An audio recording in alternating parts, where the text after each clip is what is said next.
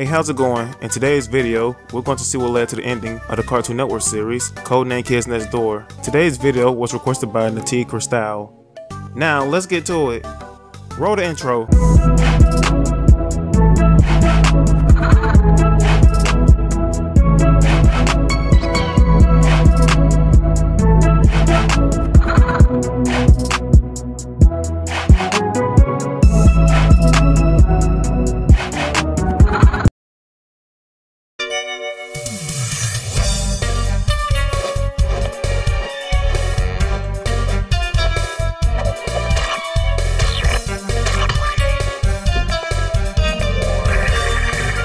Codename Kids Next Door was created by Tom Warburton. After graduating college, Warburton was able to become an intern at Buzzco Associates Inc. He was able to land this gig after looking at the industry guide in the animation magazine. He just went to different companies and just kept bothering them until someone hired him. I took the animation magazine had their industry guide and I looked at all the places that were in New York and I would occasionally go up to New York and knock on doors. And eventually, a couple suckers um, at a company called Buzzco Associates hired me. I was hired at Buzzco as an intern, and I did everything from making deliveries to uh, washing animators' coffee cups to um, just cleaning up the studio afterwards to uh, you know setting up for parties.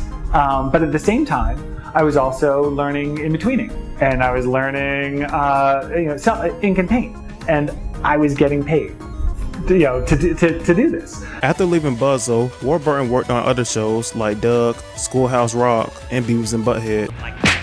Warburton was able to pitch Codename Kids Next Door because he knew Leonard Simensky from their time at the Zifa Film Festival. Leonard Simensky became the executive producer at Cartoon Network. Warburton created a Bible and got in contact with Simensky to pitch his idea for a pilot. I had uh, I had known someone from uh, the ASIFA. ASIFA is the International Animation Society. I was a member of the New York chapter, and there was a woman there who uh, became president of ASIFA East right when I got there, named Linda Simensky, and she later became uh, a big shot at Cartoon Network. So I knew I knew who to pitch my show to. So I put together a Bible like this and I described the kids, uh, you know, I described each character, what the show was about, and I sent it down to them. After the pilot was created, it was put on Cartoon Network's The Big Pick program. The Big Pick is a program where they air different cartoon pilots, and the viewer could call to vote for their favorite pilot. The Kids Next Door episode, No Pee in the Ool, won the Viewer's Choice contest, and the cartoon was greenlit for a full series. And that year, they decided they were going to let the viewers decide what was going to become a series. Because I had to find out on the air, just like everyone else, that I won. So all summer long they're airing they're airing the, the episodes and then there's one weekend where you could vote and you could vote by phone by uh, by email and every time you could vote you could only vote like two times per phone so i would call from my cell phone my wife's cell phone my phone um, and i put the word out to everyone. I put i put the word on like pokemon message boards. Vote for my cartoon. And um, so then the, the day the big pick weekend came, and my wife and I are sitting in front of the TV, and they said, Here's the big winner. And Kids Next Door started on black, and the first sound you heard was the sound of a phone ringing.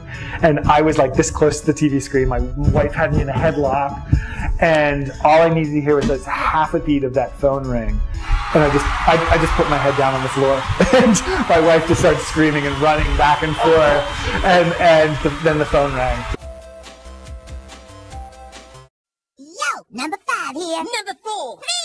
Two. And I am number one. We are The Kids Next Door. That's our code name, you dig? And we need all of you out there watching to join us in our mission Against the grown-ups. The real grown-ups. Not the muddle-headed ones you may be used to.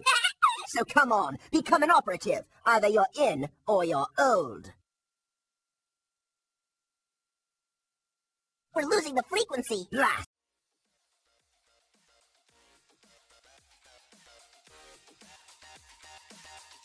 Codename Kids Next Door premiered on December 6 in 2002. The series ran for six seasons with a total of 78 episodes and three TV specials. The series follows the adventures of a group of kids that fights against adult and teen villains with the help of advanced 2x4 technology. These kids are a part of a global organization composed of children from ages 5 to 12. Each Kids Next Door operative is given a code name, which is usually a number. Well, um, except for Tommy, whose code name was number T. Code name T's not a number, loser! Being a global organization, the Kids Next Door have different sectors that are stationed all over the earth, with the main base being stationed on the moon. Most sectors are built around a giant treehouse that serves as a home base for the operatives in that area. The series mostly focuses on the operatives from Sector V. Number 1 and 2 played by Benjamin Diskin, And the kangaroo says, coleslaw? I thought you said Number 3 played by Lauren Tom, Number 4 played by D. Bradley Baker, and Number 5 played by Cree Summer. Kids next door follow their oath of protecting other kids from evil adults until the age of 13 when they're decommissioned. For those who don't know, decommissioning is a process where they wipe the memories of the operator's time in the kids next door, usually when they reach the age of 13. But sometimes there are special cases where some operatives can keep their memories and be promoted to the teen version of the kids next door and go undercover while helping the younger members in secret. Some examples will be Chad, who was revealed to be an undercover agent all this time. And also Maurice is also part of this teen organization. The inspiration for Kids Next Door came from Warburton watching X-Men. X Men. I was a huge X Men X Men fan, and you know, like I loved, you know, that a lot. That's a lot where Kids Next Door came from. I love the idea of an international team of experts, you know, fighting together and uh, against crazy, crazy supervillains and stuff like that. Codename Kids Next Door was one of the most popular shows on Cartoon Network. One thing I love about this series is that the 2x4 technology is made from household appliances or things you could find laying on the ground or in the dumpster. And I always wanted one of these weapons when I was younger. I just realized while making this video this weapon is called a bottle cap. I also like how they put other Easter eggs of other shows in this series, like how one of number three stuffed animals looks like a certain cartoon sheep. I'm assuming it was Mo Willems' idea to put that there as a reference, since he was one of the writers for Codename Kids Next Door. It was also pretty funny that number five's dad was Bill Cosby, but this joke didn't really age that well.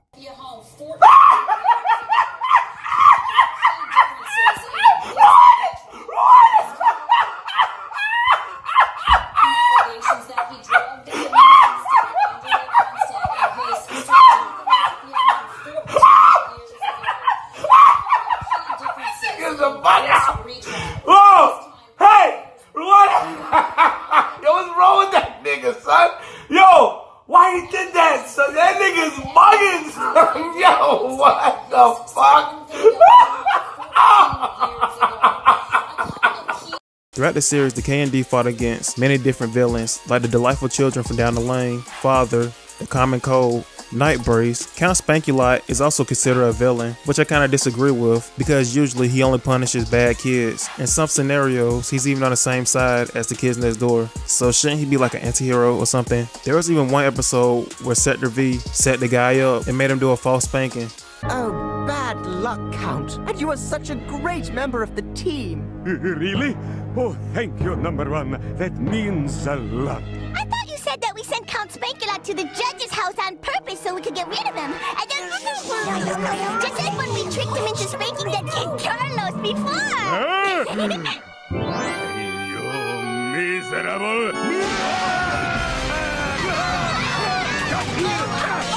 My favorite villain in the series has to be the Toiletnator. Yeah, he's dumb, but when the Toiletnator gets serious, he fucks everybody up.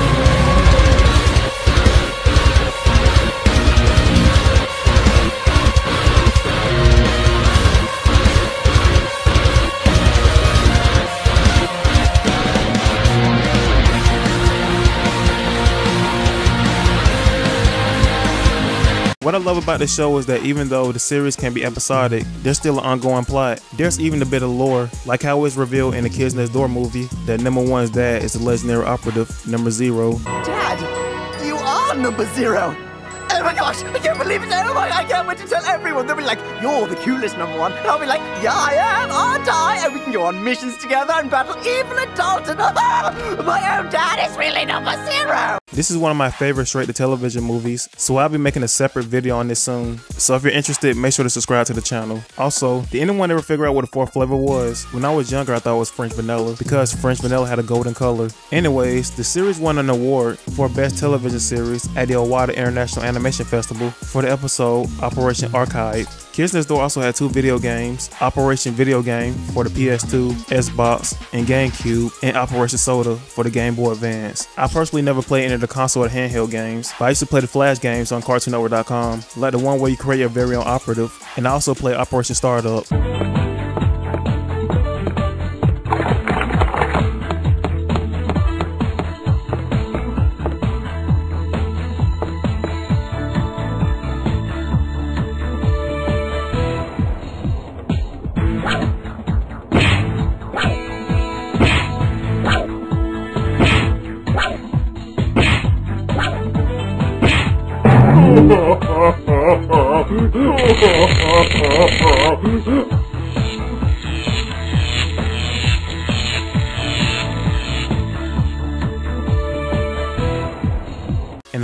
Episode of the series, the members of Sector V are all grown up, with their memories as KND operatives restored. Number 3 and 4 are now married. Number 3 is the head of the Rainbow Monkey Corporation. And number 4 is a doctor who graduated at the top of his class at Harvard. Number 2 and 5 are also married, but it's not known what they do for a living. The episode is set up as a live action interview in order to find out what happened to number 1 after the birthday cake mission. Just a quick recap for those who don't remember. Whenever the delightful children from down the lane have a birthday party, the KND usually try to steal their birthday cake. This time the cake was took by number 74.239. He says he'll get a cake to whoever wins the scavenger hunt, with one of the items on the list being Father's Pipe. Got it! Later in the episode, we learned that number one was chosen to represent Earth in the Galactic Kids Next Door, an organization dedicated to prevent adult tyranny throughout the universe. Number 74.239, will you please tell me what exactly is going on around here? Don't you get it yet? You've been chosen to join the Galactic Kids Next Door! Only one kid from every planet is picked, and you're it! We also learned that number one's mom was also a former Kids Next Door operative with the code name number 999, and she was also the first female operative to join the KND. Dad? Mom? What are you doing here? We came to see you off, dear. Mom, you know about all this? About the kids next door? Well, of course. They were nice enough to recommission Number Zero and me so we could say goodbye. You were a kids next door operative too? Only the first girl operative in the seventh age of the kids next door, number 999 herself. Shortly after the rest of the team meets up with number one, he hands the shades to number five and tells her that she's in charge of Sector V again. The team says the final goodbye shortly after father arrives, demanding his pipe back. But as soon as he arrives, everyone and their equipment was gone. Nigel Uno, I am done playing games with you, boy. Give me back my pipe. This. No. No. At the end of the episode, we see grown up versions of the KND crying after reminiscing on what happened when they were younger. It turns out that the interviewer was actually father, and he was using this as a way to find out the location of number one. As soon as number five leaves, she gets a phone call from a mysterious person and tells them they told father everything he wanted to know, and also they'll meet them on the moon base. The mysterious person is revealed to be number one himself. Number five welcomes him back, and the series ends.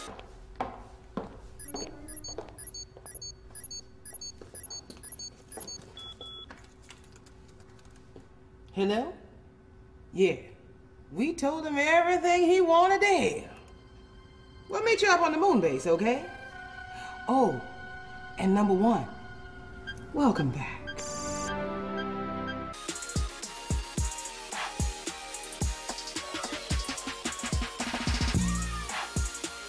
Kids Next Door final episode aired on January 21st in 2008. The reason why Kids Next Door ended was because of the old standard Cartoon Network had, where a show wouldn't go past six seasons. Warburton had plans to make a sequel to Kids Next Door called The Galactic Kids Next Door, and even made an animated trailer, but Cartoon Network wasn't interested in continuing the series. Can you hear me? No, no, you gotta push this thingy over here. No, don't! Oh, now look what you did! What? I like this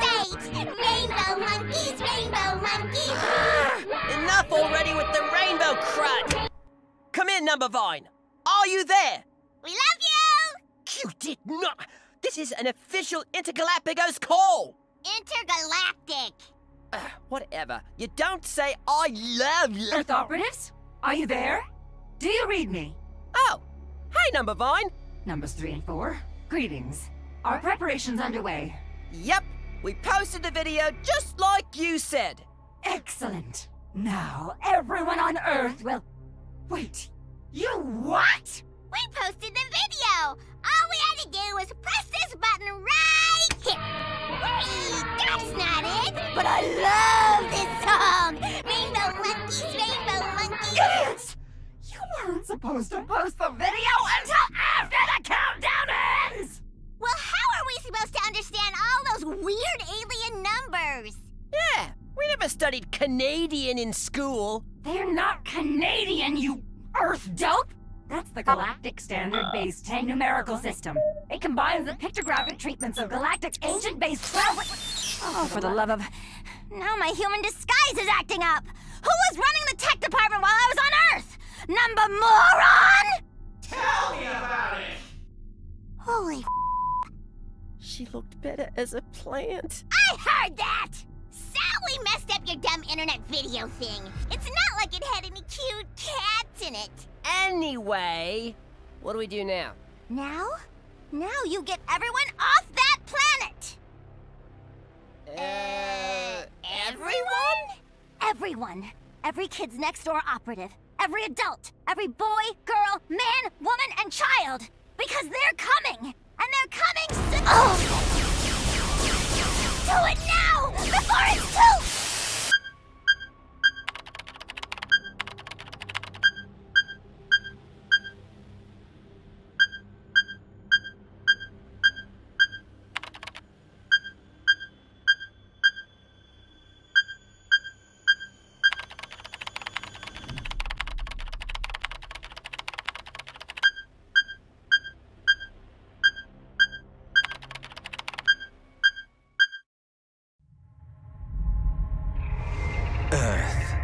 a Class G planet.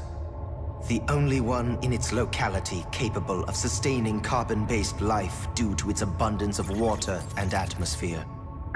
Home to over 8.7 million different life forms, the planet's dominant species is human, of which there are approximately 7 billion. Of that number, more than three quarters are over the age of 13. In other words, adults. That's why I have no choice but to do this.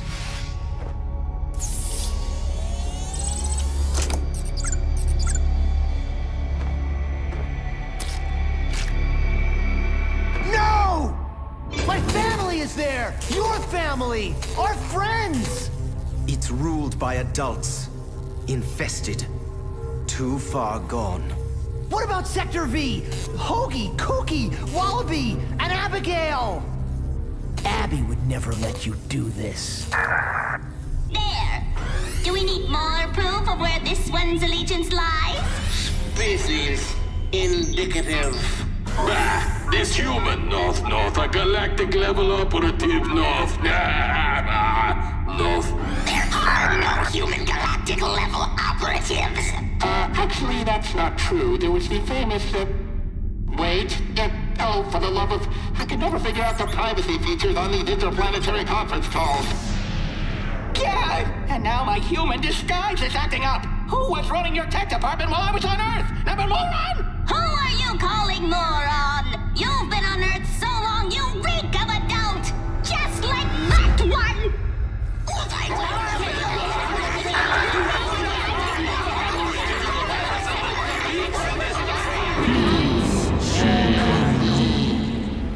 The decision does not come lightly.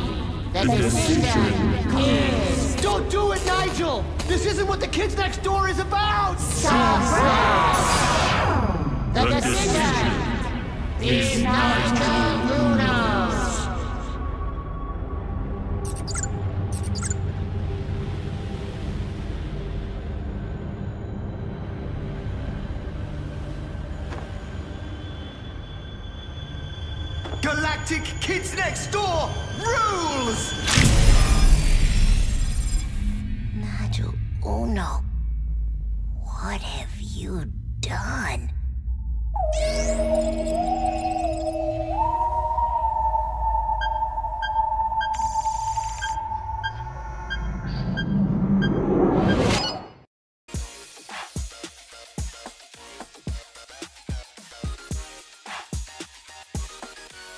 At the time of this recording, Tom Warburton has just finished wrapping up the production of The Muppet Babies. Ben Diskins, the voice of number one and number two, is voicing Nooroo in The Miraculous Ladybug. Lauren Tom, the voice of number three, is the voice of 13 in the Young Justice series. Dee Bradley Baker, the voice of number four, voices Reed Doggle in Young Justice, as well as doing additional voices for The Owl House. Cree Summer, the voice of number five, voices Bunny Star in The Patrick Star Show. Despite being one of the best series that Cartoon Network ever produced, Cartoon Network won't renew the series. Tom Warburton also said he was willing to work on a continuation of the series if Cartoon Network was willing to greenlight the project. Hopefully one day we'll see some sort of reboot or continuation in the future. Who knows? We might even get another movie. Only time will tell.